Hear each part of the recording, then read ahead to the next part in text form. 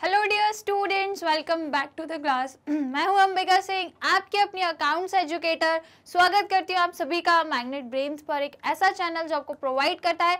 100% free and quality education यदि आप English medium के स्टूडेंट्स हैं तो हम आपको कोर्सेज प्रोवाइड करते हैं स्टार्टिंग फ्रॉम क्लास के जी टू क्लास ट्वेल्व और यदि आप हिंदी मीडियम के स्टूडेंट्स हैं, तब भी हम आपको हिंदी मीडियम के कोर्सेज प्रोवाइड करते हैं। Starting from class six to class twelve CBSE board के कोर्सेज हम आपको कवर कराते हैं और इसी के साथ अदर स्टेट बोर्ड के कोर्स भी कवर करते हैं, जैसे कि Delhi Bihar UP MP Rajasthan board और यदि आपको ई बुक्स या नोट्स का बेनिफिट लेना है तो लिंक बढ़िया से आपको डिस्क्रिप्शन बॉक्स में मिल जाएगी, वहाँ जाकर चेक कर सकते हैं और आप इसका भी बेनिफिट ले सकते हैं।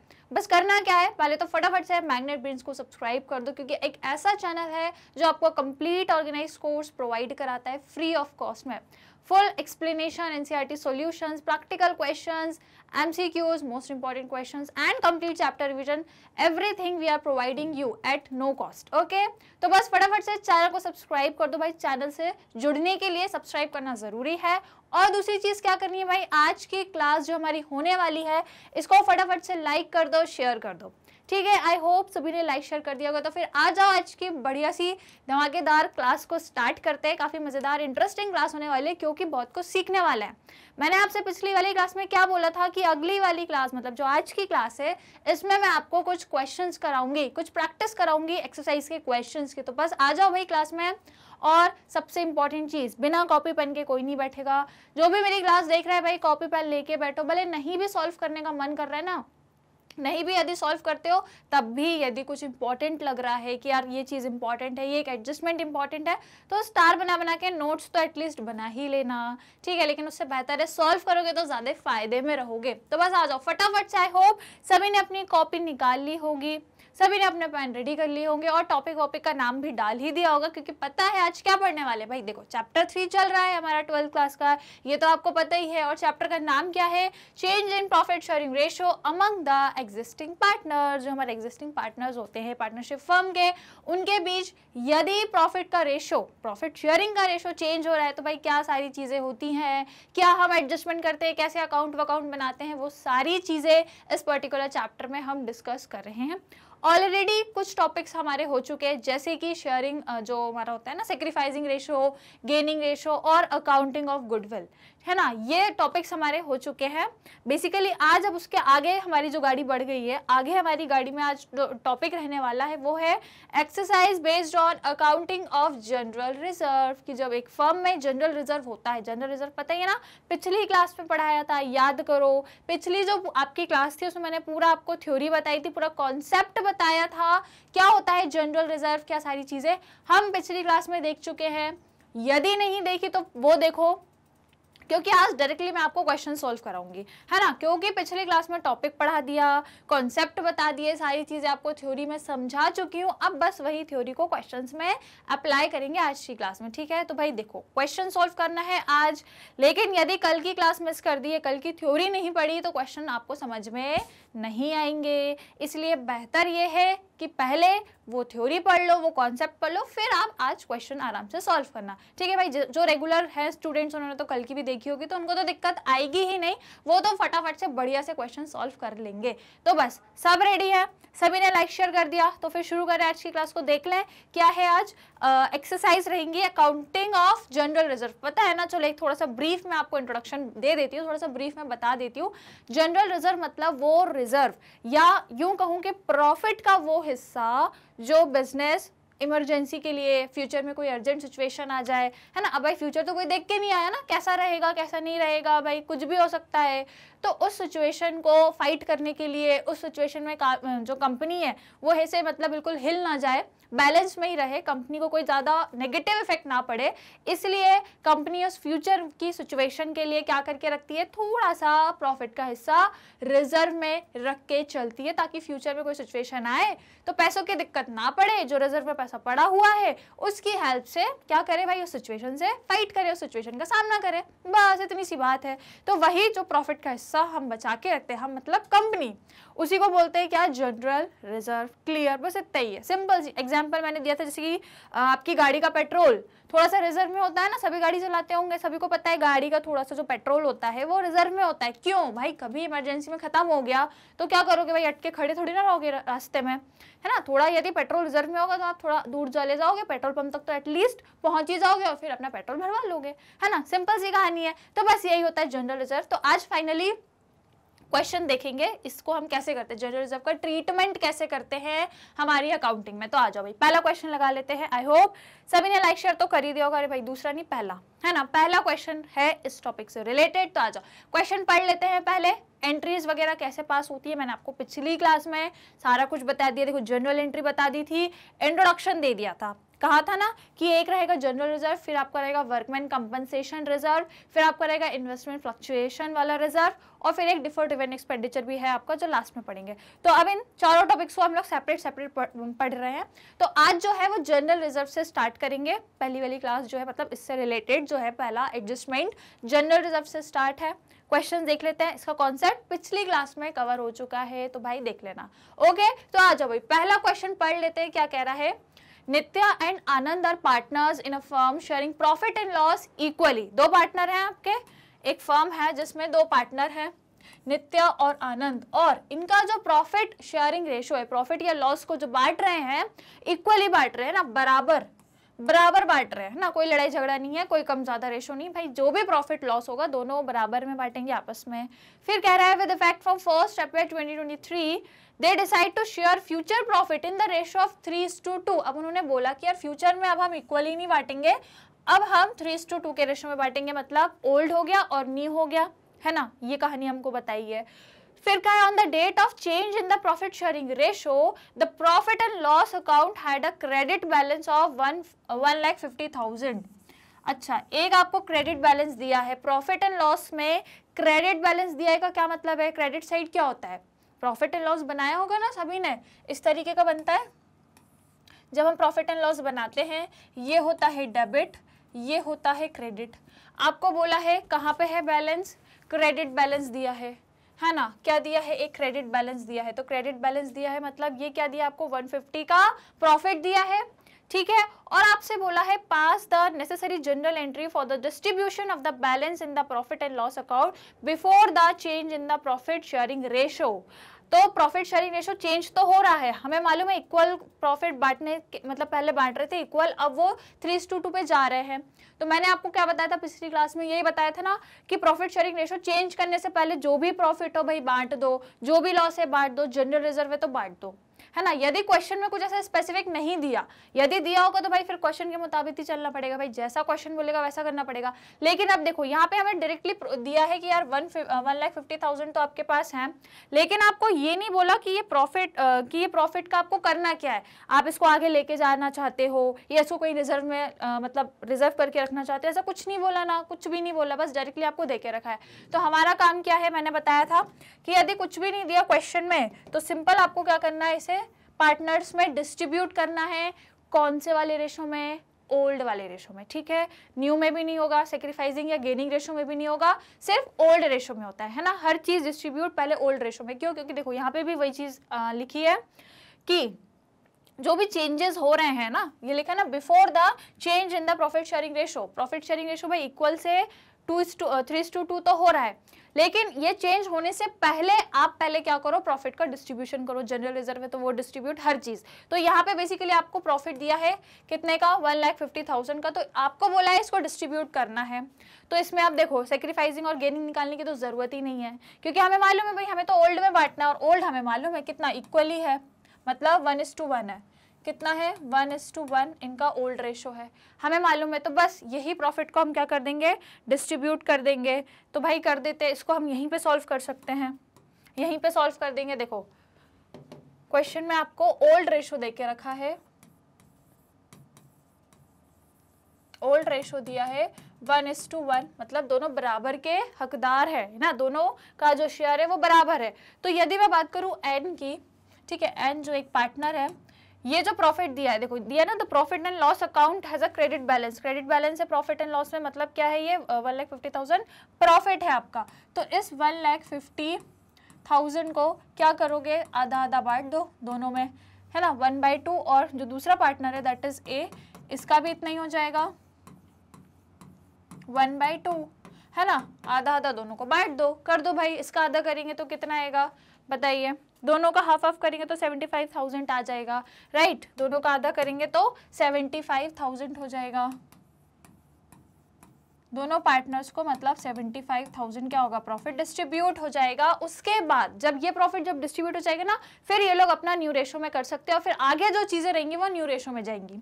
है ना? लेकिन न्यू रेशो को बदलने से पहले मतलब ओल्ड से न्यू पे जाने से पहले, जो भी पुरानी चीज़ें हैं, उनको पहले डिस्ट्रीब्यूट कर लो। ओल्ड रेशो में यही कहता है ये वाला कॉन्सेप्ट अब हमसे तो क्वेश्चन में बस सिर्फ़ जनरल एंट्री मांगी है तो उसकी एंट्री कैसे हो जाएगी?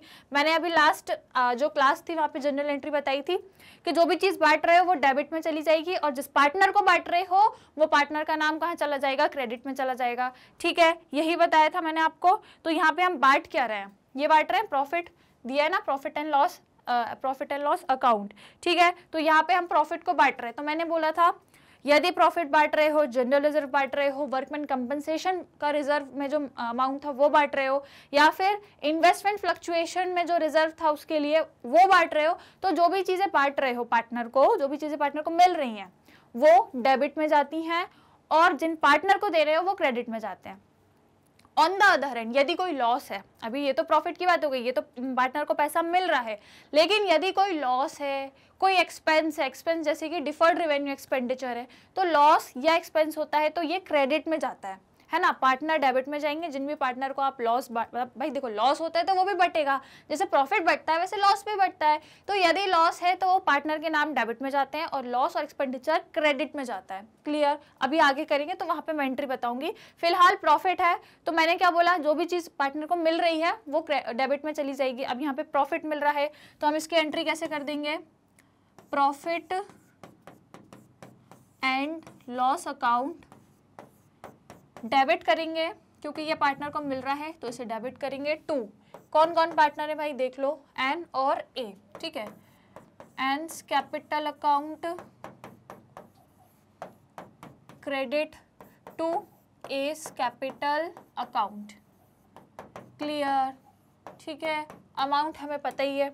कितना था? टोटल प्रॉफिट कितना था? डेढ़ लाख था मतलब वन लाख फिफ्टी थाउज़ेंड था। इसमें से हमने दोनों को आधा आधा बांट दिया मतलब seventy five thousand and seventy five thousand. Clear कोई दिक्कत, कोई परेशानी? ठीक है? क्लियर समझ गए? बस यही था ये वाला सवाल। इसमें बस आपको जो ऑलरेडी प्रॉफिट दिया है, क्योंकि हमें मालूम है ओल्ड रेशो से न्यू की तरफ़ जा रहे हो तो पहले जो भी प्रॉफिट है रिज़र्व है उसको पहले डिस्ट्रीब्यूट कर दो। उसके बाद फिर आप रेशो चेंज करो तो बस ये हमें प्रॉफिट दिया था। हमने दोनों को बराबर बराबर बांट दिया, और फिर हमें मालूम है, जो भी चीज़ बांट रहे हो प्रॉफिट एंड लॉस बांट रहे हो तो वो डेबिट साइड जाती है। और भी जो भी चीज़ बांटते हो, वो डेबिट साइड जाएगी। और जिस पार्टनर को दे रहे हो, वो क्रेडिट में जाता है, और हमने उस हिसाब से अमाउंट लिख दी है। क्लियर चलो, कोई दिक्कत, कोई परेशानी? तो ये क्वेश्चन आपका इतना ही था आप इसका फटाफट से स्क्रीनशॉट ले लो। फिर अगला क्वेश्चन करेंगे। डन ठीक है, समझ में आया? इजी क्वेश्चन था। बस एंट्रीज का यहाँ पे वो ध्यान रखना कि डेबिट में क्या जाना है और क्रेडिट में क्या जाना है। क्लियर जो चीज़ पार्टनर को मिल रही है, बांट रहे हो पार्टनर्स को, वो डेबिट में जाएगी और जिस पार्टनर को मिल रहा है, वो क्रेडिट में जाएगा। क्लियर यदि लॉस होता लॉस होता तो क्या करते? पार्टनर को डेबिट करते और लॉस को क्रेडिट करते। ठीक है, अभी लॉस की कंडीशन आएगी तो मैं वो भी बताऊँगी डोंट वरी फ़िलहाल यहाँ प्रॉफिट की कंडीशन थी। क्लियर अब लगाए अगला क्वेश्चन चलो आ जाओ। सेकेंड क्वेश्चन लगा लेते हैं। सेकेंड क्वेश्चन रीड कर लेते हैं। दो तरीके से दो कंडीशन दी है, इसको पढ़ लेते हैं, क्या बोल रहा है? Amar and Akbar are partner sharing profit in the ratio of two is to one दो पार्टनर है, इनका रेशो दिया है। फिर on thirty first March twenty twenty three they their balance sheet show general reserve of sixty thousand अब भाई, इनकी जो बैलेंस शीट थी, उसमें एक जनरल रिज़र्व पड़ा हुआ था। कितने का? साठ हज़ार का इनका जनरल रिज़र्व था। It was decided that in future they will share profit and loss in the ratio of three to two समझ रहे हो आप कहानी? ओल्ड रेशो भी दिया है, न्यू भी दिया है और कहा है कि ये लोग ओल्ड से न्यू की तरफ़ जा रहे हैं और इनके बैलेंस शीट में जनरल रिज़र्व दिया है साठ हज़ार का। तो आपको पता है क्या करना है? फटाफट से आपकी दिमाग में घंटी बच जानी चाहिए। ओल्ड से न्यू की तरफ़ जा रहे हैं, जनरल रिज़र्व है तो भाई क्या होगा? बटेगा, है ना? सब में बटेगा, जितने भी पार्टनर है सबको बटेगा। किस रेशो में? ओल्ड रेशो में। बस ये दो तीन चीज़ें इसको बिल्कुल याद रखना। मैं बार बार बोलूँगी ना तो आपको बिल्कुल माइंड में फिट हो जाएगी। राइट right, चलो फिर क्या बोला है? Pass necessary journal entry in each of the following alternative cases अब आपको जनरल एंट्री पास करनी है। हमको पता है जैसी एंट्री हमने लास्ट क्वेश्चन में की थी वैसे ही होगी। बस वहाँ पे प्रॉफिट था यहाँ पे जनरल रिज़र्व इतना ही फ़र्क है बाकी सेम है। वहाँ वो प्रॉफिट बटा था या जनरल रिज़र्व बट रहा है। बस इतना डिफरेंस है ठीक है? अब देखो दो कंडीशन क्या दी है? When general reserve is not to be shown in the new balance sheet जब आपको जनरल रिज़र्व नई बैलेंस शीट में नहीं दिखाना मतलब आपको पहले ही उसको हटाना है। जब नई बैलेंस शीट बनेगी तो आपको वो कंटिन्यू नहीं करना। है इसका मतलब क्या हुआ? इसका मतलब ये हुआ कि पार्टनर अब जो अपनी नई बैलेंस शीट बनाएँगे, उसमें जनरल रिज़र्व नहीं रखना चाहते तो वो कब नहीं रखेगा? जब वो बट जाएगा, है ना? जब आपको रखना ही नहीं है तो बांट दो। यदि नहीं बांटोगे तो फिर आपको बैलेंस शीट में दिखाना पड़ेगा। तो यहाँ पे पहला पॉइंट वही बोल रहा है कि जब जनरल रिज़र्व को वो लोग नई बैलेंस शीट में दिखाना नहीं चाहते न्यू बैलेंस शीट में उसको नहीं शो करना चाहते तो कब नहीं शो होगा? जब बट जाएगा जब देखो यदि जनरल रिज़र्व सभी पार्टनर में बढ़ गया तो जनरल रिज़र्व भी खत्म, और जब जनरल रिज़र्व खत्म हो गया तो बैलेंस शीट में भी नहीं आएगा। ठीक है? तो पहले केस में ये करना है कि जो भी जनरल रिज़र्व दिया है, आपका साठ हज़ार का दिया है तो इस पूरे को सभी पार्टनर्स में बांट दो ओल्ड रेशो में। तो जनरल रिज़र्व पूरा खत्म हो जाएगा। जब वो खत्म हो जाएगा तो नई बैलेंस शीट में जाएगा ही नहीं। क्लियर ये है पहला फंडा। दूसरा केस आपसे कह रहा है when general reserve is to be shown in the new balance sheet अब ये उल्टा, बिल्कुल उल्टी कहानी बोल रहा है। क्या बोल रहा है कि जनरल रिज़र्व को हमें नई बैलेंस शीट में दिखाना है, हमें लेके जाना है नई बैलेंस शीट में तो क्या करना पड़ेगा? यदि पूरा बांट दोगे तो फिर बैलेंस शीट में नहीं जाएगा। और यहाँ पे बोल रहे कि हमें दिखाना है नहीं बैलेंस शीट में, हमें इसको कंटिन्यू रखना है, हमें लेके जाना है आगे तक। तो इसके लिए क्या है मतलब थोड़ा जनरल रिज़र्व रखना पड़ेगा। तो मतलब पार्टनर को बांटना तो है तो अब इस इस वाले केस में, इस वाली कंडीशन में क्या होगा? आप कैलकुलेट करोगे सेक्रीफाइजिंग या गेनिंग ठीक है? सेक्रीफाइजिंग या गेनिंग कैलकुलेट करोगे, और जो सेक्रीफाइजिंग और गेनिंग का रेशो आएगा, उस रेशो में बांटोगे, और फिर जो बचेगा उसको अपनी बैलेंस शीट में क्या करोगे? अगले साल ट्रांसफ़र करोगे। ठीक है, कहानी थोड़ी समझ आई। अभी मैं करके दिखाऊँगी तो क्लियर हो जाएगा कैसे करना है। तो सबसे पहला काम हम क्या कर सकते हैं? सबसे पहला काम जो हमारा फ़र्स्ट केस है, इसकी एंट्री कर सकते हैं हम। क्योंकि पहला केस आपसे कुछ नहीं बोल रहा है यही बोल रहा है कि हमें बैलेंस शीट में लेके ही नहीं जाना। क्योंकि हमें पता है ना, जब हम पुराने रेशो से नए रेशो की ओर जाते हैं तो चेंजेस करते हैं।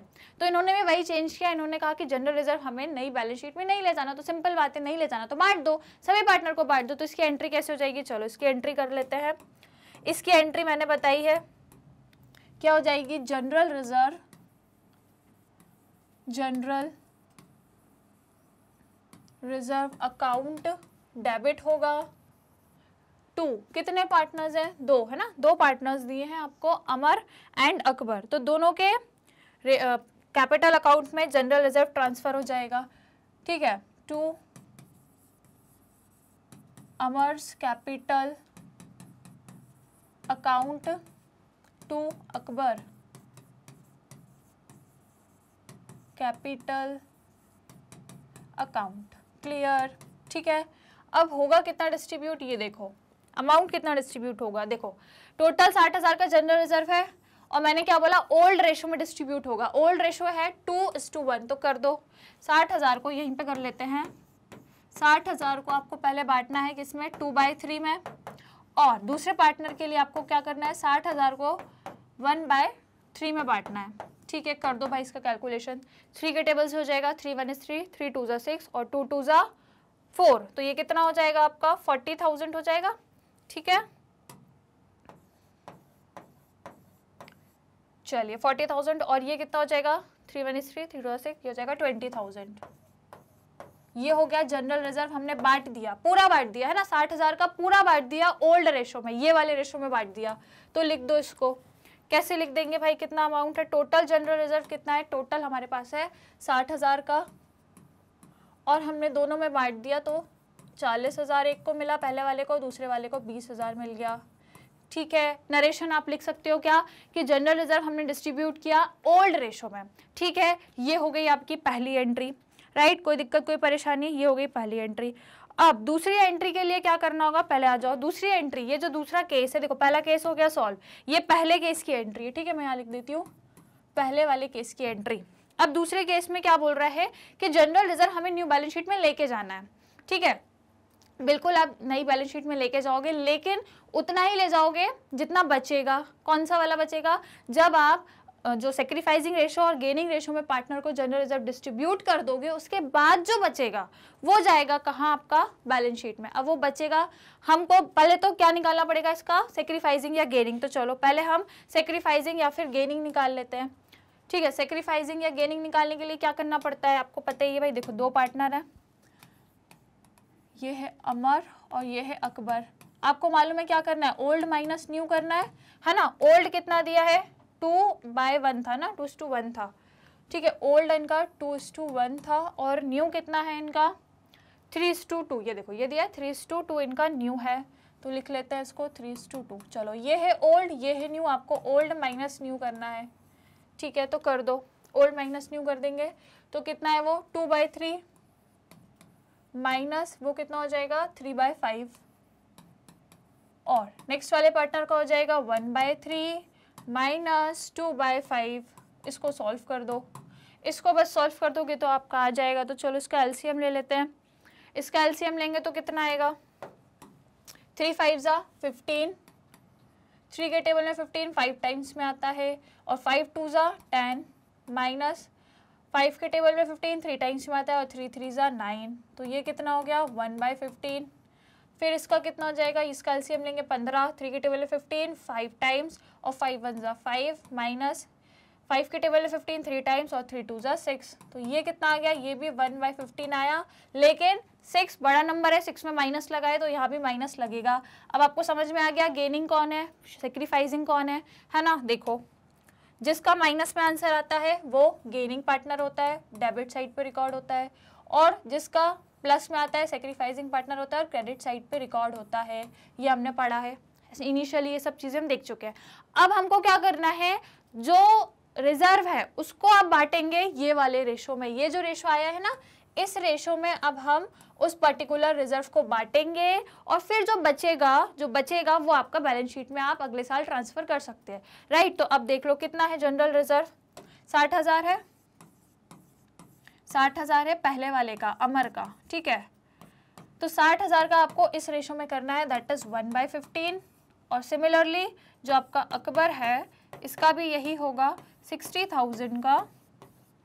वन बाय फिफ्टीन ठीक है अब आप इसको कैलकुलेट कर लो। बढ़िया से आपका आंसर आ जाएगा। राइट right, कितना आएगा? दोनों का सेम ही आएगा। दैट इज़ इसको करोगे तो फोर टाइम्स ठीक है? फोर थाउज़ेंड ठीक है? फिफ्टीन मैंने फिफ्टीन फोर ठीक है। फोर हो जाएगा ये आपका फोर थाउज़ेंड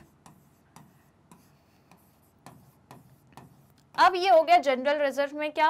कि ये फोर थाउज़ेंड इसको मिलेगा जनरल रिज़र्व का जो साठ हज़ार है, उसमें से फोर इसको मिलेगा फोर इसको मिलेगा, और जो बचेगा, वो कहाँ जाएगा? आपकी बैलेंस शीट में जाएगा। ठीक है? जो बचेगा, वो कहाँ पे जाएगा? वो बैलेंस शीट में जाएगा। समझ गए? साठ हज़ार में से चार हज़ार इसको मिल जाएगा, चार हज़ार इसको मिल जाएगा जनरल रिज़र्व का। और जो भी बचेगा, है ना? बचेगा क्योंकि टोटल कितना रहा है? आठ हज़ार। साठ हज़ार में से आठ माइनस कर दोगे तो जितना अमाउंट आपका बच रहा है, वो कहाँ जाएगा? बैलेंस शीट में चला जाएगा। ठीक है? तो अब इसकी एंट्री कैसे होती है? इसकी एंट्री कैसे करेंगे? इसकी एंट्री देख लो। मैंने क्या बताया कि जो पार्टनर का क्या आया है? गेनिंग आया, वो डेबिट साइड जाता है। इसका गेनिंग आया है तो ये कौन सा है भाई? अकबर है तो इसकी एंट्री हो जाएगी Akbar capital account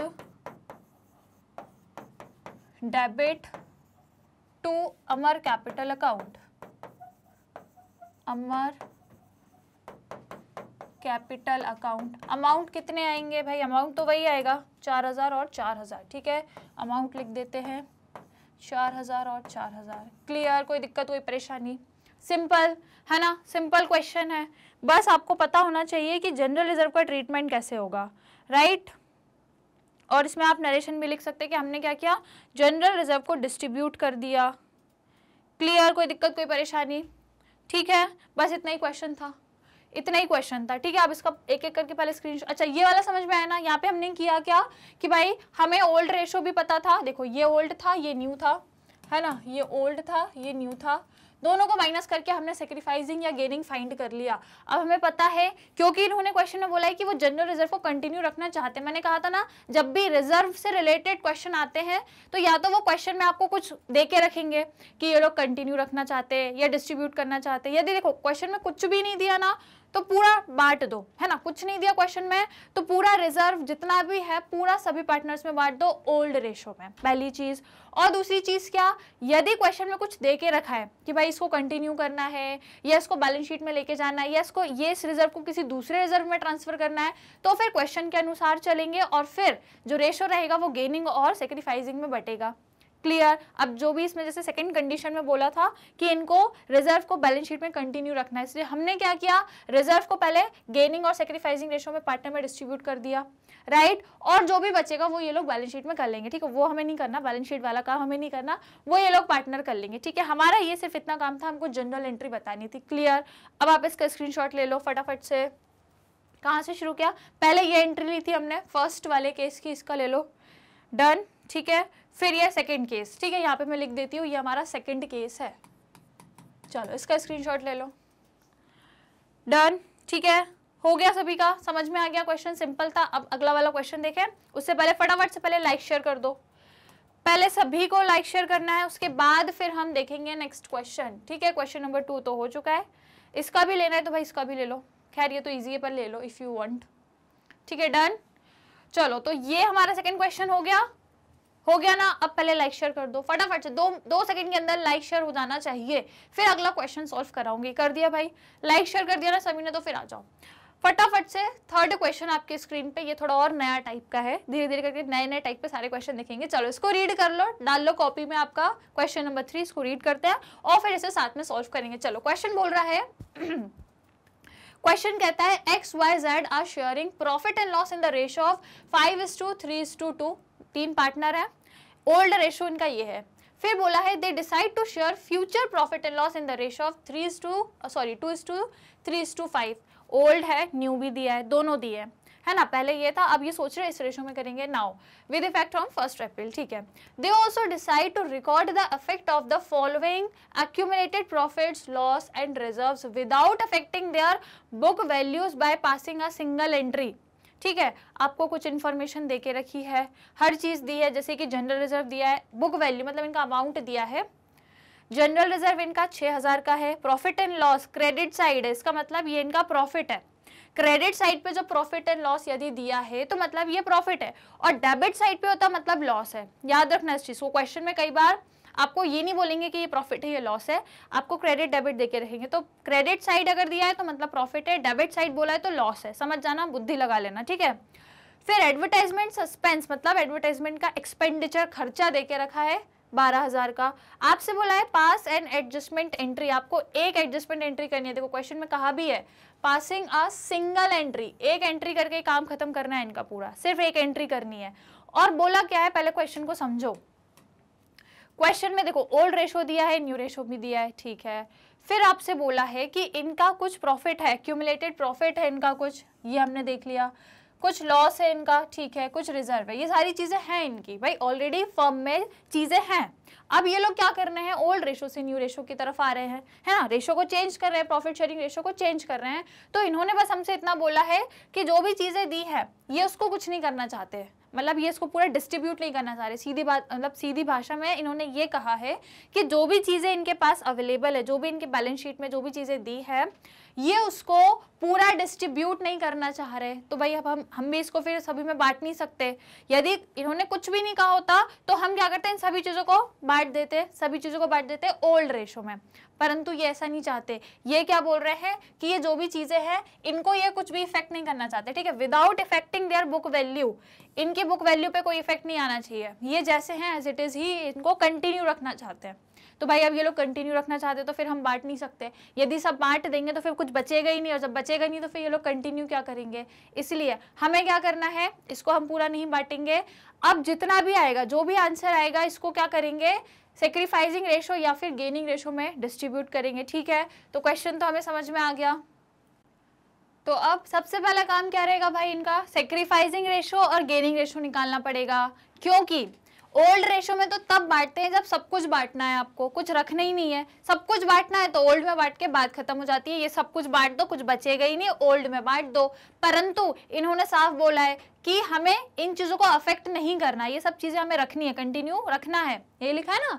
वही लिखा है ना? देखो, कि अक्यूमलेटेड प्रॉफिट लॉस रिज़र्व जो भी है without affecting their book value by passing a single entry इनकी बुक वैल्यू अफेक्ट नहीं होनी चाहिए। बुक्स में इन सभी की एंट्री हमें लेके जानी है बैलेंस शीट में इन सबको हमें रिकॉर्ड करना है आगे भी, आने वाले टाइम पर भी।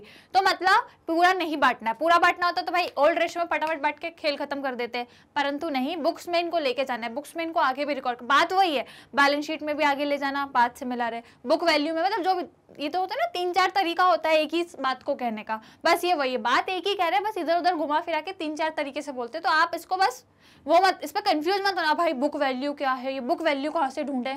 ऐसा कुछ नहीं है। इनका कहने का मतलब यही है कि बुक में लेके जाना है।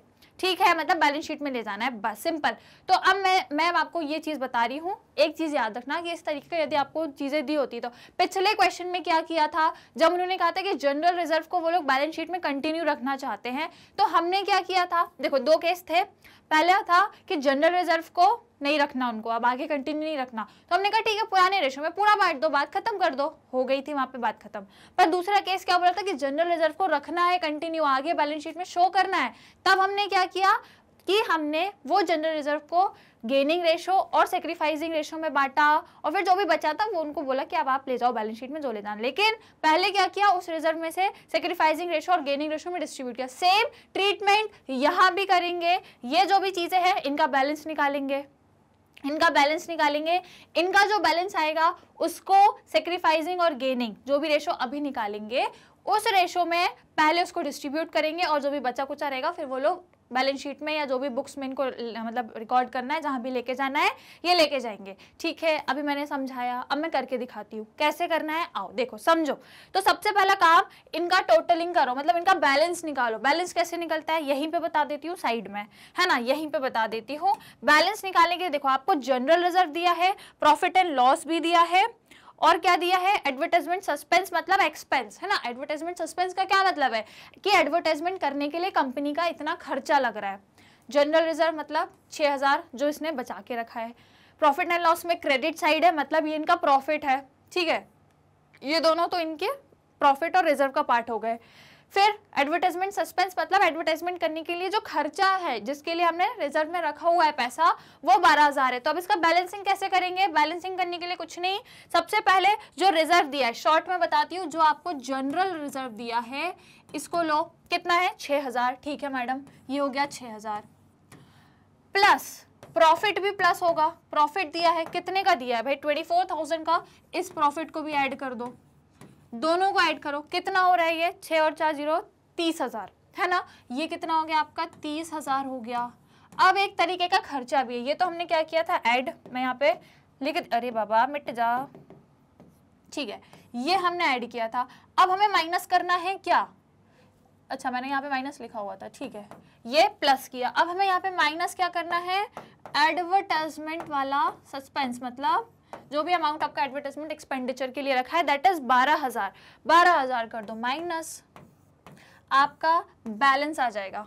कितना आ रहा है? माइनस करो भाई। तीस हज़ार में से यदि बारह हज़ार माइनस करोगे तो अठारह हज़ार आ जाता है है ना? तो ये जो अठारह हज़ार आया है डियर स्टूडेंट्स अठारह हज़ार ये अब आपका क्या होगा? ये जो बैलेंस आया, भाई, दोनों प्रॉफिट और रिज़र्व दोनों प्लस करके खर्चा माइनस कर दिया, अठारह हज़ार आ गया। अब इस अठारह हज़ार को इनके सेक्रीफाइसिंग और गेनिंग रेशो में पहले डिस्ट्रीब्यूट करके जनरल एंट्री करेंगे और फिर जो अमाउंट रहेगा वो इसका बचेगा। ठीक है? अब देखो कैसे होगा? लेसन यहाँ पे देखो। तो सबसे पहले तो भाई इनका सेक्रीफाइसिंग और गेनिंग निकालना पड़ेगा।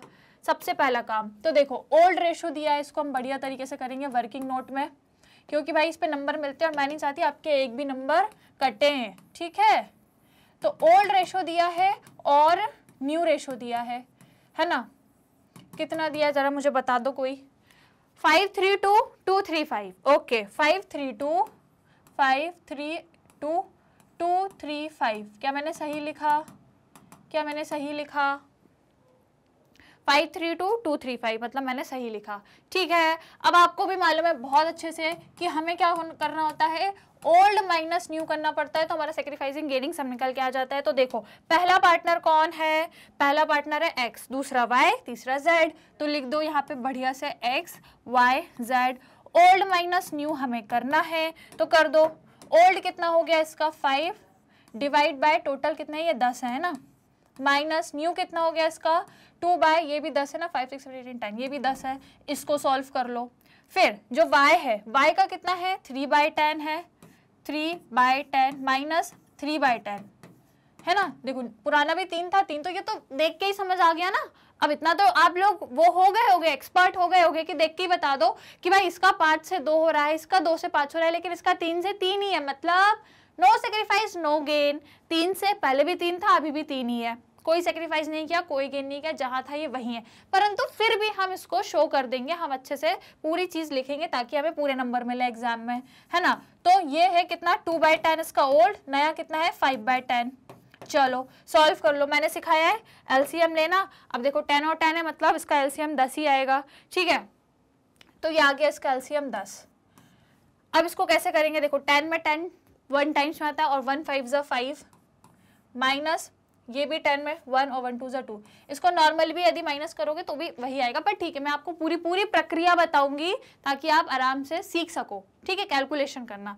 तो बस इसको यदि कर देंगे तो ये कितना हो जाएगा भाई? थ्री बाय टेन हो जाएगा। इसका थ्री में से थ्री का भाई, इसका तो ज़ीरो है।